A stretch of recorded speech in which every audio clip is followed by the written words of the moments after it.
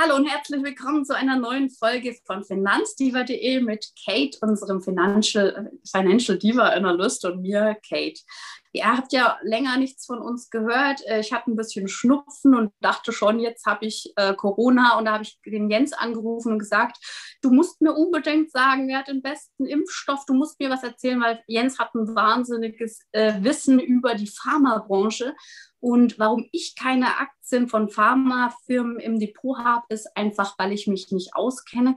Ich will das aber ändern, weil ich glaube, dass wir Menschen so lange leben, weil wir so viele gute Pharmaprodukte haben, die uns am Leben halten und uns schnell wieder gesund machen.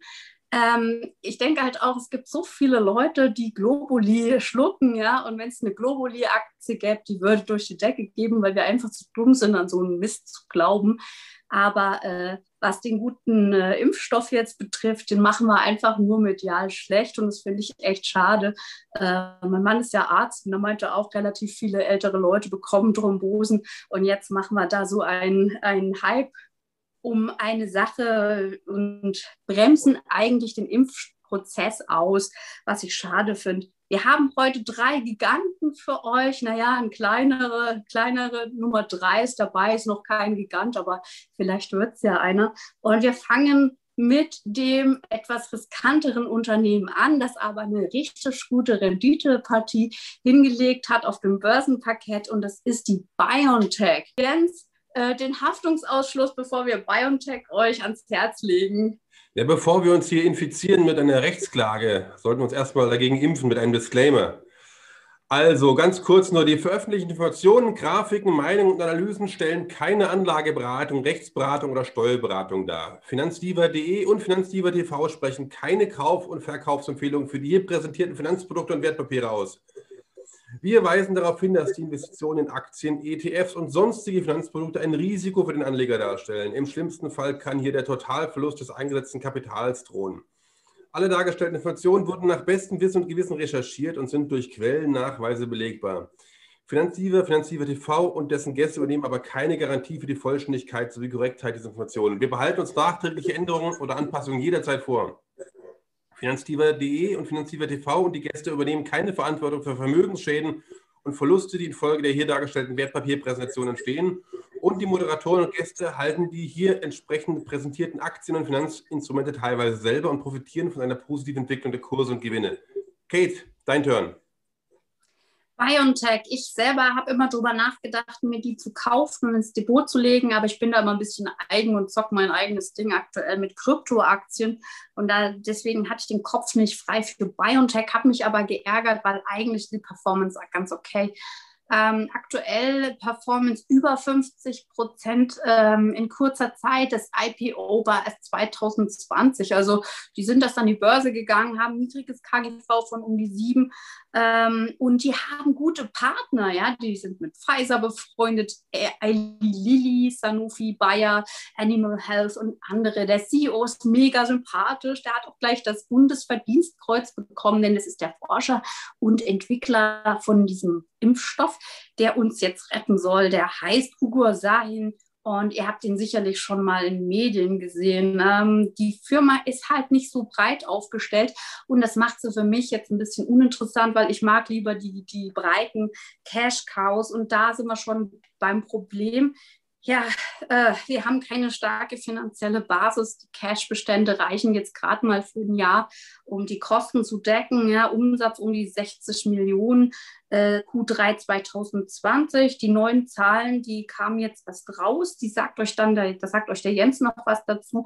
Was ich cool finde, ist halt, die Aktionäre sind mal wieder äh, Bill und Melinda Gates dabei, BlackRock natürlich, Fidelity, PrimeCap und wir haben die Strüngmann-Zwillinge, das sind die Milliardäre, die die Firma Hexal verkauft haben. Und ähm, Andreas und Thomas ähm, aus Deutschland, die haben die Hälfte der Aktien im Portfolio.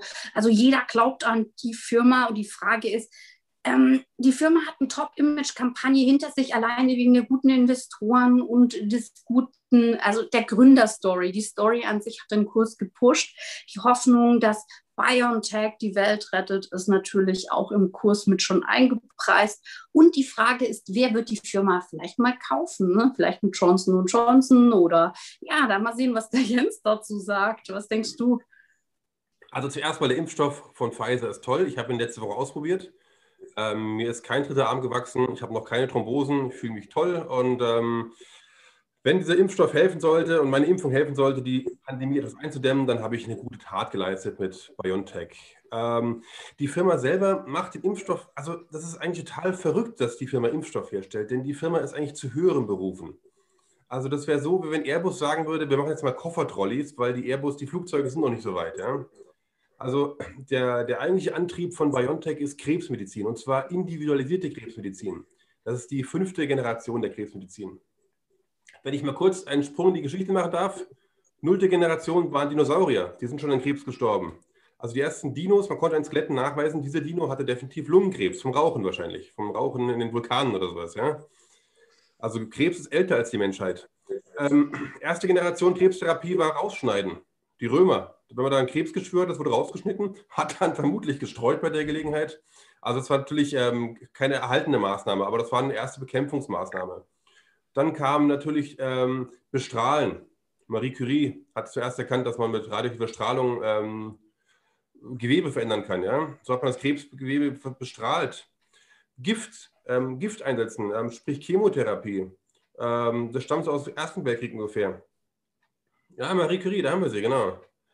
Ähm, also die Chemotherapie heißt im Prinzip den Körper gezielt vergiften an der Stelle, wo der Krebs sitzt das stirbt natürlich alles Mögliche mit ab. Also nicht nur der Krebs selber, sondern auch das umgebende Material stirbt ab. Und äh, mittlerweile sind wir so weit, dass wir ähm, den Krebs sequenzieren können, von pro Person individuell. Ein Krebsverlauf ist immer individuell. Es gibt verschiedenste Verläufe und jeder Krebs hat eine eigene Herangehensweise. Und BioNTech-Ansatz ist eben, diesen Krebs zu analysieren und dem Patienten ein Medikament zu verabreichen, das genau auf ihn zugeschnitten ist, quasi.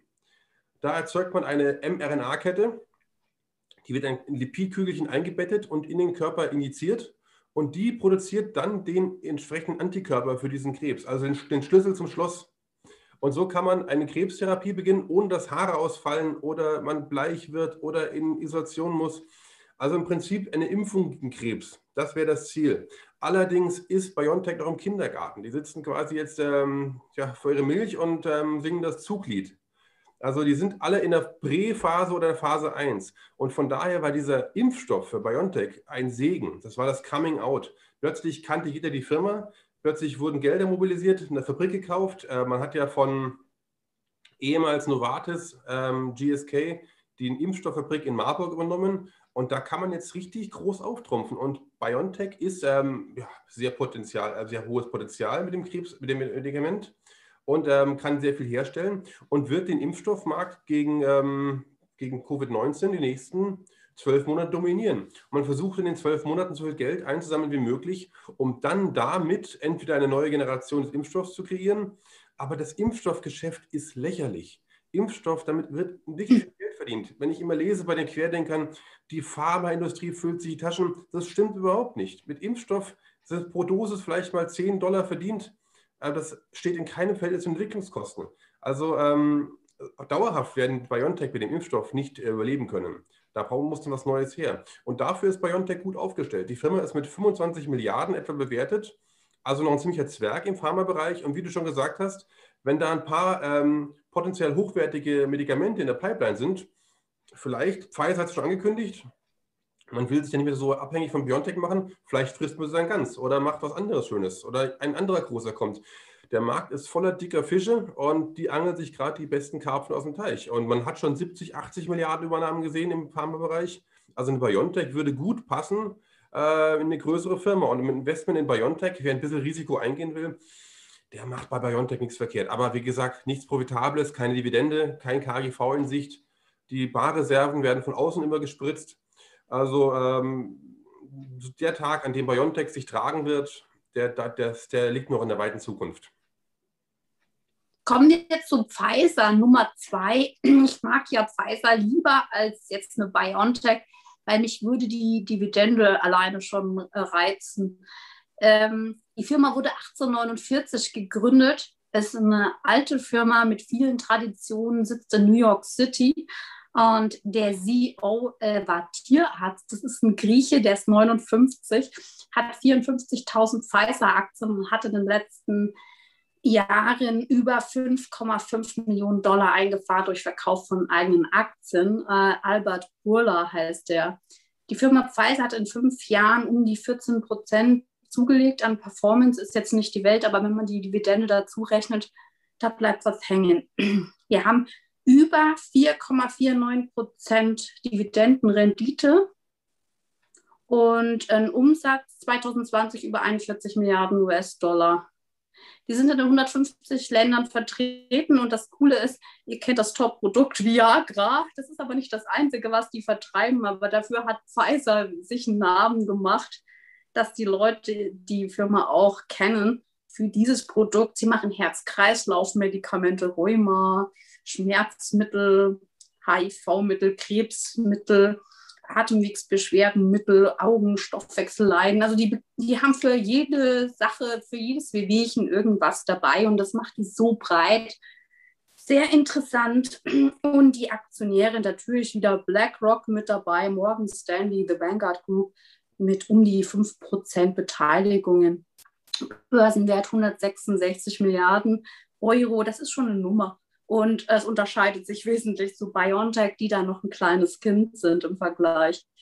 Der Albert Buller, nochmal der CEO, hat ungefähr 2020 30 Millionen verdient, 1,6 Millionen Dollar Gehalt. Also das war sein Gehalt, Grundgehalt 2020. Insgesamt, seitdem er bei der Firma ist, hat er 30 Millionen ran geschafft. Aber zu seinem 1,6 Millionen Gehalt kriegt er noch 3,6 Millionen Dollar Bonus. Er kriegt 6 Millionen Dollar Stock Options und 606.000, naja, so ein bisschen Taschengeld halt, Other Types Compensation nennen die das, also ein bisschen Spaß. Ich habe auch Pfizer nicht im Depot, war mir immer ein bisschen, ja, ich bin nicht der Dividendeninvestor, ich war noch nie der Pharmainvestor, aber ich bin am Überlegen, was ich mir demnächst ins Depot lege davon. Also Pfizer, mit Pfizer kann man nicht viel verkehrt machen. Ähm, ich bin, glaube ich, seit fünf, sechs Jahren an Bord.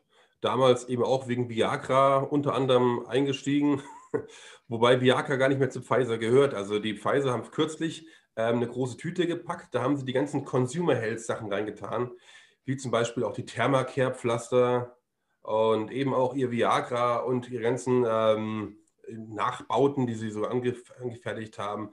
Man hat, äh, man hat eine große Tüte gepackt und hat die Viatris genannt und an die Börse gebracht und Pfizer hält jetzt einen Minderheitenanteil daran. Also man ist indirekt noch dabei, aber bei Viagra ist das Patent ausgelaufen und seitdem ist es eine Pille wie andere auch und es gibt tausende Nachahmerprodukte, ähm, die zwar keiner kennt, aber die eben den Markt fluten und die Preise sind gefallen und Pfizer hat gesagt, wir nehmen das Geld jetzt lieber und investieren sinnvoll in neue Onkologieprodukte.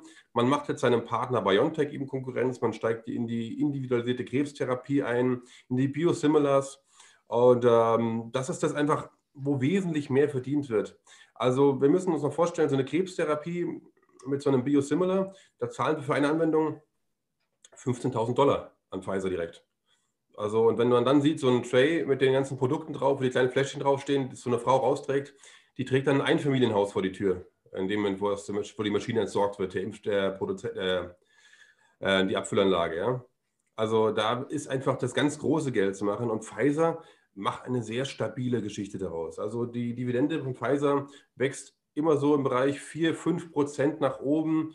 Man hat stabiles KGV, ich glaube so um die 15 rum. Für einen äh, Pharmazeuten, einen forschenden Pharmazeuten, ist das ein Schnäppchen. Also ich hatte gerade das Gespräch, die Börse sei überbewertet. Nein, ist sie nicht. Also es gibt in der Börse immer wieder Firmen wie Pfizer zum Beispiel, die momentan an vorderster Front im Impfstoffkrieg stehen und wirklich ähm, jeden Tag Leben retten. Und diese Firma ist maximal moderat bewertet. In meinen Augen leicht unterbewertet. Also wer sich eine Pfizer-Aktie ins Depot legt, der geht kein hohes Risiko ein.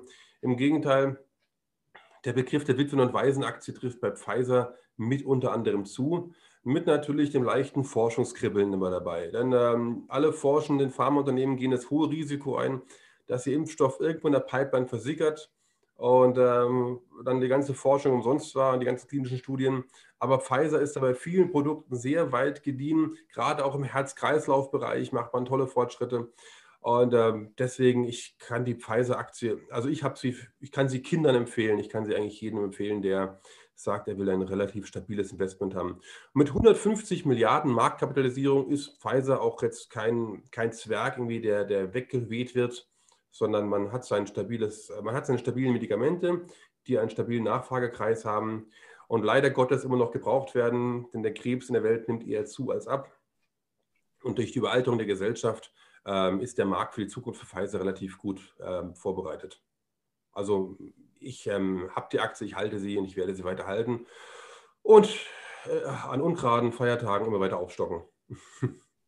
Ich habe mich gewundert, dass sie nicht stärker gestiegen ist während der Pandemie. Ja.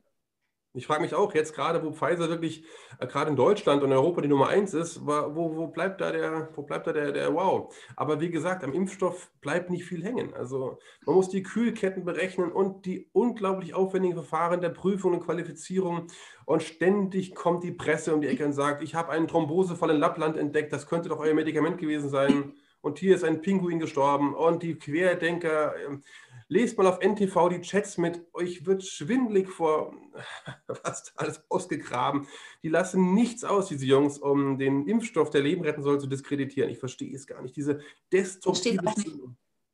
Spätestens, wenn du wie ich Husten hattest vor einer Woche, dann hättest du dir diesen Impfstoff sofort gewünscht. Ja, dann wäre dir das alles egal gewesen. Weil ich habe gedacht, wenn ich jetzt Corona habe und das war's, ähm, ich verstehe das auch nicht wenn du mal Corona hast, kommt der Impfstoff zu spät, sage ich mal. Dann brauchst du das Medikament und das gibt es ja noch nicht. Aber auch da ist Pfizer dran übrigens, ein Medikament ähm, zu entwickeln gegen Leute, für Leute, die schon Corona haben, die schon im Krankenhaus liegen und aus dem letzten Loch pfeifen. Da brauchen wir dringend ein Medikament, denn ähm, der Impfstoff ist präventiv und es gibt ja auch die Querdenker, die sich auf den Querdenker-Demos anstecken, die es dann haben, die wollen wir eigentlich auch retten. Und die werden zwar sagen, nein, ihr wollt mich vergiften, aber wenn sie dann wirklich merken, das geht zu Ende, dann werden auch diese Leute jeden Strohhalm nehmen, den sie kriegen können. Deswegen, das Medikament muss genauso her. Und das wird nicht einfach sein. Also da gibt es so viele Ansätze. Dieses, dieser Virus ist noch zu unerforscht und zu, wir sind noch zu sehr darin, ihn zu identifizieren, sagen, was willst du eigentlich von uns, wohin gehst du? Und wenn wir so weit sind, wird über lange Zeit dann der Impfstoff wahrscheinlich angepasst werden an die neuen Varianten und dann in die alljährliche Grippeimpfung mit integriert werden. Und dann können wir uns endlich wieder in irgendwelchen finnischen Bars rumtreiben und lustige Abende haben. Ja, apropos Finnland, da müssen wir mal ein Special machen mit ein paar coolen Finnland-Aktien, wenn du das schon so ansprichst, weil ich habe ein bisschen Fernweh, äh, seitdem ich in Corona-Zeiten daheim sitze. Und Finnland war definitiv eins meiner Favoriten, wo man gut abends ausgehen kann. Gut, aber nicht günstig. Ähm, kommen wir zu Johnson Johnson. Das ist meine Lieblingsaktie, die ich auch nicht im Depot habe, aber die ich jedem empfehle, der jetzt sagt, äh, ich bin ängstlich, ich möchte irgendwas für meine Altersvorsorge tun. Warum nicht mit einer Cash-Cow wie Johnson Johnson? Die Firma ist genial. Sie erinnert, also die Geschichte alleine schon erinnert mich an eine Serie, die ich aktuell schaue. Das ist die Charité. Und zwar wurde 1861, da ist, da hat da Bürgerkrieg getobt in den USA. Robert Wood Johnson war damals Apothekerlehrling und er hat einen Vortrag gelauscht von Dr. Joseph Lister über antiseptische OPs. Und dann hat der Robert Wood Johnson 1886 das erste Unternehmen, das das steriles OP-Material in Masse produziert, gegründet. Die Johnson Johnson ist entstanden.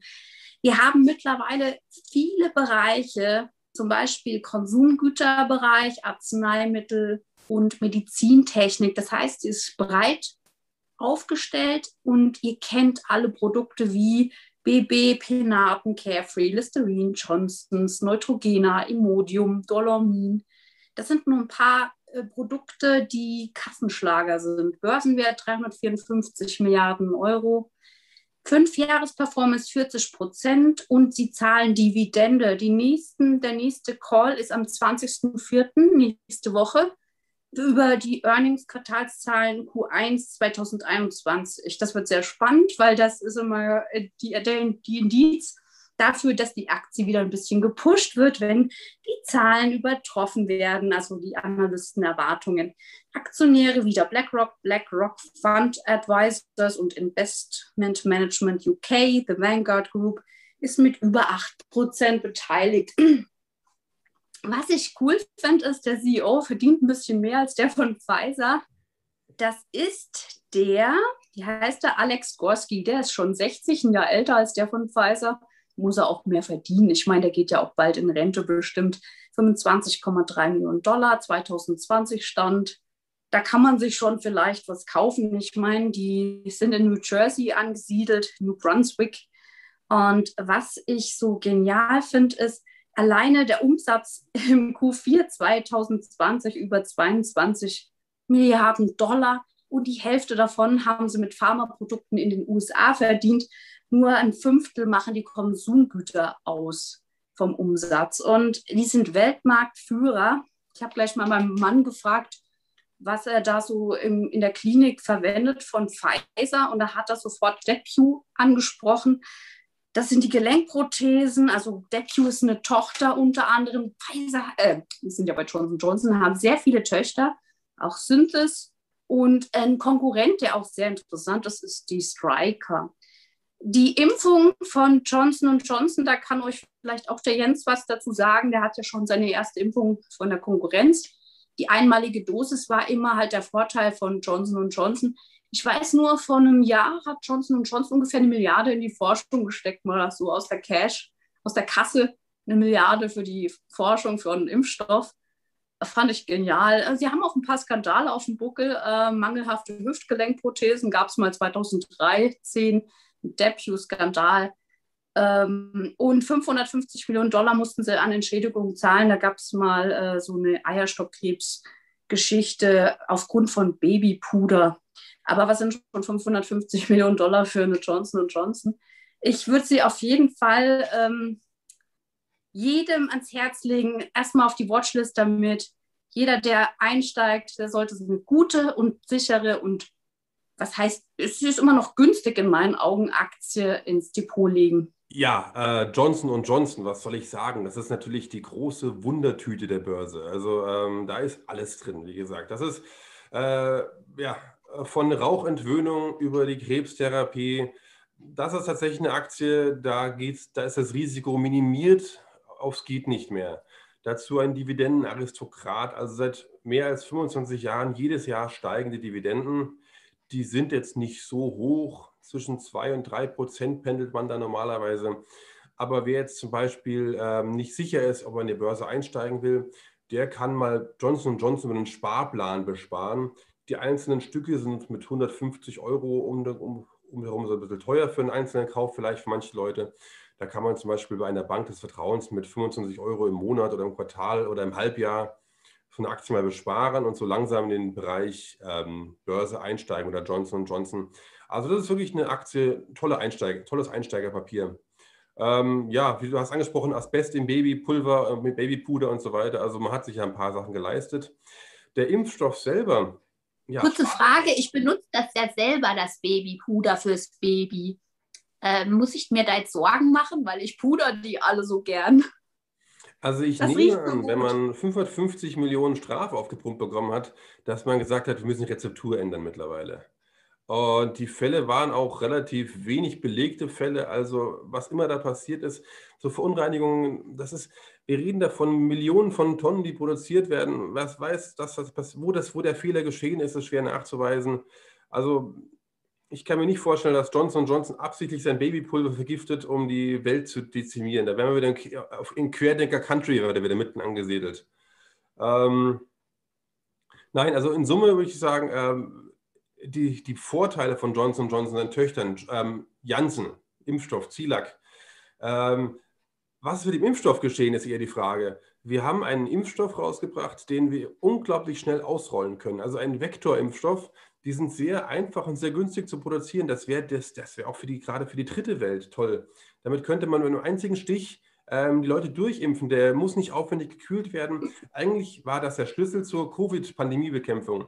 Und jetzt wird alles gestoppt wegen fünf Thrombosefällen pro eine Million äh, verabreichte Impfungen, die nicht mehr belegt sind. Also ganz ehrlich, liebe STIKO, äh, reißt euch mal ein bisschen zusammen. Wenn wir impfen, impfen, impfen wollen und wegen jedem Killefits den Prozess anhalten und auf Stopp setzen, die Daten prüfen, dann werden wir das Impfen, dann, dann haben wir die Mutanten schon äh, vor der Tür stehen, die sind schon, hocken schon im Wohnzimmer, während wir an der Tür noch unterschreiben. Ja? Also so kommen wir nicht voran. Und dieser Impfstoff wäre elementar wichtig. Ähm, weil wir mit einem Stich durchkommen. Wir können uns Menge Logistik einsparen. So können wir dann auch auf schnelle Zahlen kommen wir müssen jetzt die 50-Prozent-Marke mal angehen als nächstes, damit wir hier ausstoppen können, damit die Wirtschaft wieder in Gang kommt. Und äh, dazu wird dieser Impfstoff ganz wichtig. Deswegen hoffe ich da bald auf eine gute Entscheidung ähm, bezüglich des Impfstoffs, damit alle Leute, die wollen, mitspielen können, alle Leute, die abwarten wollen, abwarten dürfen und alle Leute, die nicht wollen, gucken, was passiert. Also, das sehe ich da ganz äh, wertneutral. Aber ich hoffe, dass meine Familie bald, auch die Kinder bald die Möglichkeit haben, sich abzusichern gegen eine Krankheit, die schlimme Folgen hat. Wir haben einen Bekanntenkreis, ich habe Kollegen und so weiter, die da auch ähm, erwischt wurden. Und äh, es ist nicht schön. Also es ist besser ohne. Wie bei jeder Krankheit ist erstmal gut, wenn man sie überstanden hat, aber besser ist, sie gar nicht erst zu bekommen. Und Johnson Johnson. Ich glaube, wir sind einfach, ich glaube, das Problem ist der Wohlstand. Jeder will mitreden das verlangsamt den Prozess und äh, jeder möchte auch natürlich die Pros und Cons abwägen. Aber das Problem ist, die Natur wartet nicht und hat die Mutter Mutanten sind halt wirklich gefährlich. Und äh, mir macht das auch Sorgen, was da gerade in Brasilien los ist. In Südafrika, die ganzen Varianten, die es schon gibt, ob da der Impfstoff dann noch wirklich sicher ist und wirkt, man weiß es eben nicht. Also zwei Dinge. Erstmal, ein Impfstoff muss, äh, ein Virus muss mutieren. Ja? Das gehört zum Kerngeschäft eines Virus. Also dafür wird er quasi, dafür bezahlen wir ihn ja. Also ein Virus, der nicht mutiert, den kannst du abschreiben. Und das ist ja das Tolle an einem Virus, dass uns immer neue Herausforderungen stellt. Auch für die Pharmaindustrie ganz wichtig, dass wir einmal im Jahr ein Update geben können. Also auch der Grippevirus, also Influenza hat schon zigmal, unendliche Male mutiert. Manche Mutationen sind einfach ähm, lächerlich, die fallen aus dem Rennen. Manche Mutationen sind neu und ergiebig. Das sehen wir an den Grippezahlen. Jedes Jahr 15.000, 20.000 Tote in der guten Saison. Und das wird abgefangen durch einen Grippeimpfstoff, den wir all die Jahre vernachlässigt haben. Wann war ich bei der Grippeimpfung? Zum ersten Mal dieses Jahr. Viele Leute sagen, ach Grippe, da werde ich ein bisschen krank, ein bisschen Halsschmerzen und fertig war es. Nein, man kann in der Grippe durchaus sterben. Also die Grippe und Covid-19 sind sich gar nicht so unähnlich. Wenn es dumm läuft, ähm, dann war es das. Und ähm, ich hoffe mal, dass diese, dass diese Ruck jetzt durch Deutschland geht, dass wir sagen, wir haben ja erkannt, eine Impfung ist ein Stich, wo man mal zum Arzt fahren muss und das war's. Und dann bin ich den, Sommer, den Winter über sicher. Eine Grippeerkrankung oder eine Covid-Erkrankung dauert Wochen. Und wenn man Pech hat, äh, ein Leben lang sozusagen, wenn es eine Nachwirkung hat. Oder man überlebt es gar nicht. Ähm, und das ist das, ähm, diese, diese ähm, Mutationen kommen vor. Die sind einfach eine Reaktion des Virus, ein Kopierfehler mehr oder weniger. Und, ähm, aber wenn man mal geimpft war gegen das Virus, gegen das Covid-19-Virus, und ähm, jetzt kommt eine neue Variante daher aus, aus Lappland oder sowas, der lappländische Mutation, ja. Ähm, dann hat der Körper zumindest mal eine Grundahnung, was er tun muss. Also wir haben diese T-Zellen, die eigentlich Informationen gespeichert haben gegen Covid-19. Wenn jetzt Covid-19 Plus kommt, dann weiß der Körper schon mal ungefähr, wie er reagieren muss. Also es wird wesentlich besser enden für einen geimpften Patienten als für einen Patienten, dessen Körper zum allerersten Mal mit Covid in Berührung kommt und sagt, oh Gott, was habe ich da eingefangen? Und rennt alles durcheinander im Körper, Immunabwehr macht alles Mögliche kaputt und ähm, das ist also, die Impfung wird auf jeden Fall auch gegen die Mutanten helfen, aber eine Ansteckung kann eben immer noch passieren und dann ähm, deswegen werden wir wahrscheinlich aus dem Impfen in den nächsten Jahren nicht rauskommen. Ich denke mal, einmal pro Jahr werden wir uns alle beim Doktor irgendwas sehen und einen Spritzenarm bekommen. Und das wird gut so sein, denn das wird uns gegen alles mögliche andere auch noch ähm, gewähren lassen. Warum? Menschen müssen nicht sterben an sowas. Es war, klar heißt immer, ja, das waren nur die Alten und Schwachen und der Wald wurde gefällt, die alten Bäume raus. Aber warum denn? Ich meine, wir haben unsere alten Menschen doch lieb. Und sie sind auch wertvolle Mitglieder der Gesellschaft. Also warum sollen sie der Grippe opfern, wenn sie später noch an was anderem sterben können, zum Beispiel? An Langeweile, weil die Enkel nicht zu Besuch kommen.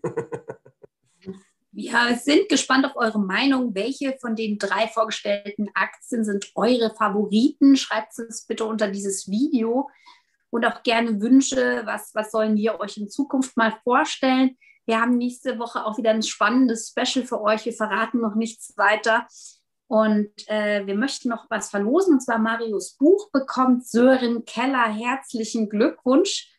Ich brauche noch die Adresse Sören und äh, die schreibst du mir bitte an redaktion.finanzdiva.de und dann bekommst du das Buch zugeschickt. Ich habe es schon gelesen. Ich bin gespannt auf deine Meinung.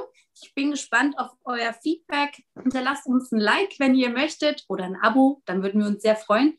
Und wenn ihr bald wieder einschaltet auf finanzdiva.de, wäre das super. Also bis dann, wünschen wir euch was. Bis bald. Tschüss. Bleibt gesund und lasst euch impfen, sobald es soweit ist. Mein Tipp. Impft euer Depot auch. Genau.